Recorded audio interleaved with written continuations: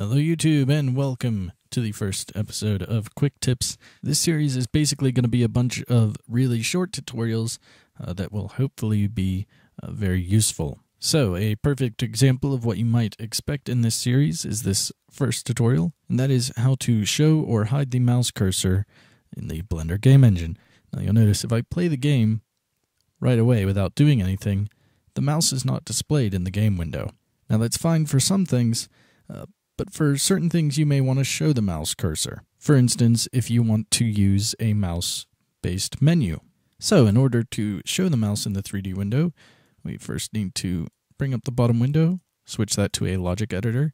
Now you can select any object that you want. I'm going to choose the camera.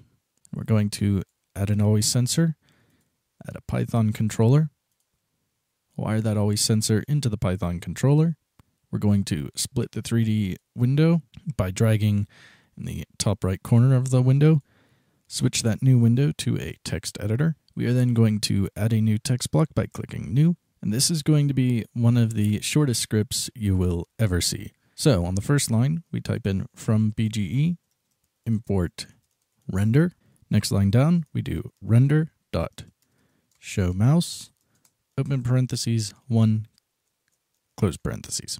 So this first line, we are importing the render module, which handles pretty much everything to do with the window whenever you're playing the game. And we are calling this function called show mouse. So this takes one argument, and that is whether or not it should show the mouse. It's going to take a 1 or a 0. I believe a boolean will also work. 1 means that it will show the mouse cursor. 0 means that it will not show the mouse cursor. So in case you want to hide the mouse, you can just feed this a 0. So we're going to name the script show mouse, and then we're going to link that script to the Python controller. So when we play the game, we can see that the mouse is shown.